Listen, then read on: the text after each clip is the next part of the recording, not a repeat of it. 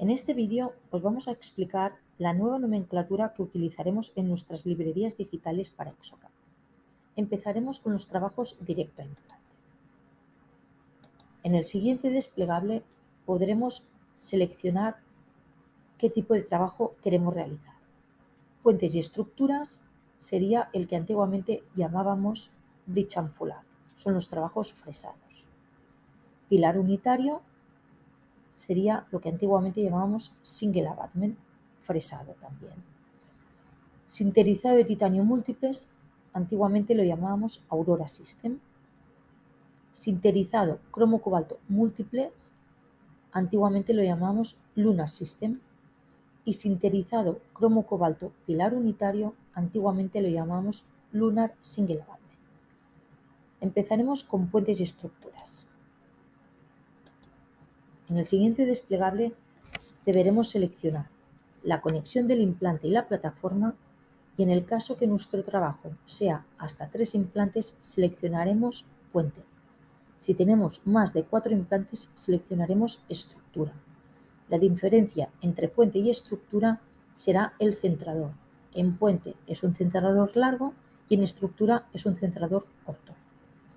Y también tendremos que tener en cuenta si queremos angular nuestra salida de tornillo o lo queremos mantener recto. En este vídeo os vamos a explicar la nueva nomenclatura para los trabajos que realicéis sobre base de titanio. Tendremos base de titanio.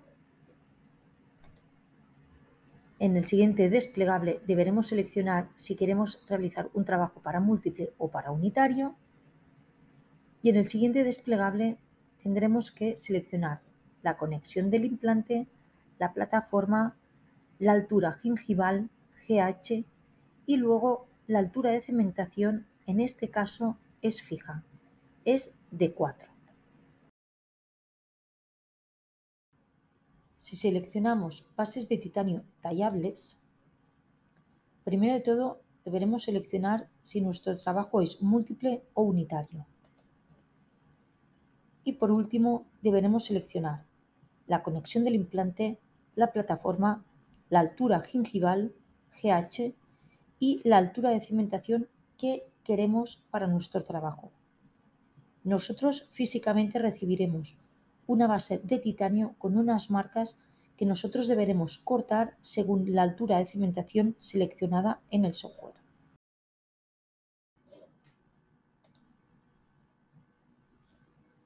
Si seleccionamos bases de titanio corrección de angulación, en el primer desplegable deberemos seleccionar la conexión del implante, la plataforma, la altura gingival, GH y si nuestro trabajo es múltiple